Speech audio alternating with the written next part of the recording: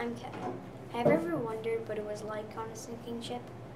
I survived the sinking of the Titanic will help you experience the amazing story of the Titanic. One passenger, George Calder, was no kid, always getting into trouble. He got into trouble mostly every day. George survived dangerous attacks by animals. George was very excited that he was on the Titanic with his sister Phoebe and his Aunt Daisy. He was so excited he already got into trouble. He was at a place he wasn't supposed to be at, and he got tackled by a guy that had a huge scar right down his face. He also gets separated from his family. Will they meet up and will they survive?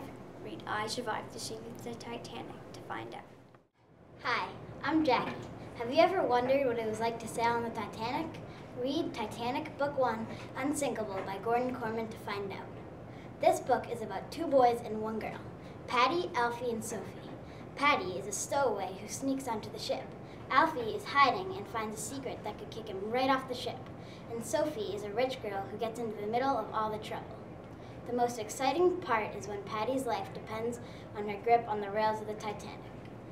This book is intense, complex, and makes you want to read on. What will happen to Paddy and the gang? Will they survive? Read Titanic Book 1 Unsinkable to find out.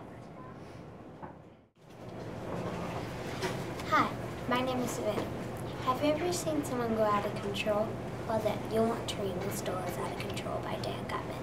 This book is about Miss Dole how, and how she goes completely crazy. The main characters are AJ, Miss Dole, and Ryan. AJ is funny, weird, and crazy. Miss Dole is weird and out of control. Ryan is AJ's best friend and Miss Dole's son. He's also very embarrassed. The best part is when Miss Daisy tells her big secret. Will they survive Miss Dole's plans? Read the book to find out. Hi, I'm Aiden. Have you ever played a team sport or been on a team before?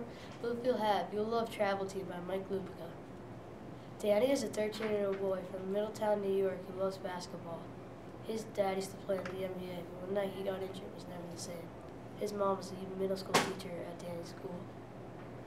When Danny doesn't make the cut for the town basketball team just because he's small, he's really upset. But his dad has an idea to make a team of all the kids that didn't make the cut. When, da when Danny's dad has something happen to him, he can't coach. Who will coach? Read Travel Team by Mike Lupica to find out.